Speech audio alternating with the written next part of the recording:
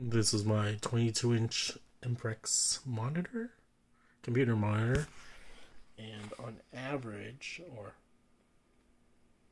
when it's in use, it's using about 25 watts of electricity. Exactly like 24.6, 24.5.